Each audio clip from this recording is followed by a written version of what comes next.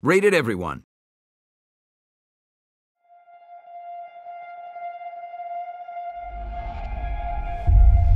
If you drive a chrome supercar encrusted with diamonds, then you'll fit right in here. That said, most millionaire playboys don't have the mindset to get out on the track for real. I need drivers for World Series racing who can, will, and must. But there is a club here that is recognized for taking care of business Dubai VIP. They are the pioneers of checkpoint races. It sounds straightforward get to the checkpoint before the time runs out. Of course, in reality, things are never that simple.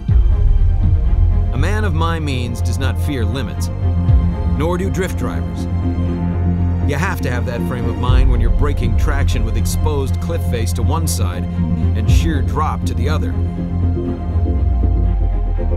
I admire the Haruna Kyojin Racing Club. They don't just have that frame of mind, they embody it. Kowloon Dragons impress me too. The razor sharp attention and reactions help them avoid their foe in Touge race events, correcting and adjusting their car at less than a moment's notice to keep their racing as clean as possible. I'm taking racing to a whole new place. It's not about whose style is best, it's about who can move out of their comfort zone and get the win, no matter which car, which event, which location. Drivers that can do that will become stars, and I will bring the eyes of the world upon them.